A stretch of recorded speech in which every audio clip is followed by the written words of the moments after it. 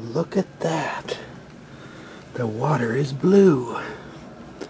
What makes it blue, you might ask?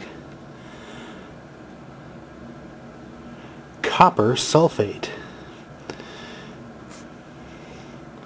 This, uh, it's not just water, it's a solution of sulfuric acid. And it's got two copper electrodes in it, which are connected to a 12 volt power supply.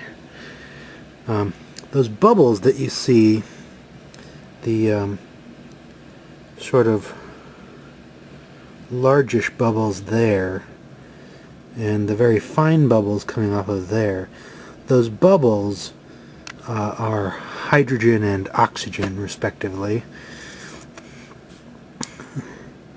because it's a solution of uh, sulfuric acid in water.